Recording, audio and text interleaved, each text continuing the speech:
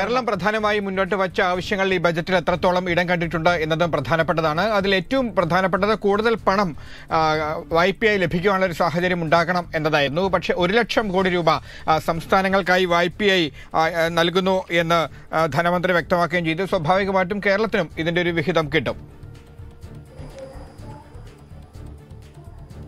തീർച്ചയായിട്ടും ധനമന്ത്രിയുടെ ഭാഗത്തു നിന്ന് അത്തരമൊരു നിർദ്ദേശം കൂടി ഇപ്പോൾ വന്നിട്ടുണ്ട്. ഒരു ലക്ഷം കോടി രൂപ സംസ്ഥാനങ്ങൾക്ക് കൂടുതൽ സഹായത്തിനായി നീക്കിവെക്കുന്നു എന്നാണ് ധനമന്ത്രി ഇപ്പോൾ അറിയിച്ചിരിക്കുന്നത്. ഈ ഒരു ലക്ഷം കോടി രൂപ നീക്കിവെക്കുമ്പോൾ അത് ഇതിനകം തന്നെ സർക്കാരുകൾക്ക് നൽകുന്ന സഹായത്തിന് പുറമേ ആയിരിക്കും. പ്രത്യേകിച്ച് സർക്കാരുകൾക്ക് ഇതിനകം അധിക വായ്പാ സഹായം നൽകുന്നുണ്ട്. അതിന് പുറമേ ആയിരിക്കും ഈ സഹായം എന്നാണ് ധനമന്ത്രി അറിയിച്ചിരിക്കുന്നത്. അതുകൊണ്ട് സംസ്ഥാനങ്ങൾ വികസനത്തിനും നിക്ഷേപത്തിനുമായി ഒരു ലക്ഷം കോടി രൂപ നീക്കിവെക്കുന്നു എന്നാണ് ധനമന്ത്രി അറിയിച്ചിരിക്കുന്നത്. ഈ ഒരു ലക്ഷം കോടി രൂപയുടെ സഹായം എല്ലാ സംസ്ഥാനങ്ങൾക്കും കൂടിയാണ്. പക്ഷേ അവരുടെ അടിസ്ഥാന സൗകര്യ വികസനത്തിനാണ് ഇത് ഉപയോഗിക്കേണ്ടത് എന്ന് ധനമന്ത്രി വ്യക്തമാക്കിയിട്ടുണ്ട്. അതുകൊണ്ട് ഓരോ സംസ്ഥാനത്തെയും അടിസ്ഥാന സൗകര്യ വികസന പദ്ധതികൾക്കായി ഒരു ലക്ഷം കോടി രൂപയുടെ അധിക സഹായം നൽകും. ഇത് പലിശയില്ലാത്ത ദീർഘകാല വായ്പയായി നൽകും എന്ന സൂചനയാണ് ധനമന്ത്രി ഇപ്പോൾ നൽകിയിരിക്കുന്നത്. അതിന്റെ ഗുണം ഒരു ഉറപ്പായും സംസ്ഥാനത്തിനുൾപ്പെടെ കിട്ടാനാണ് സാധ്യത.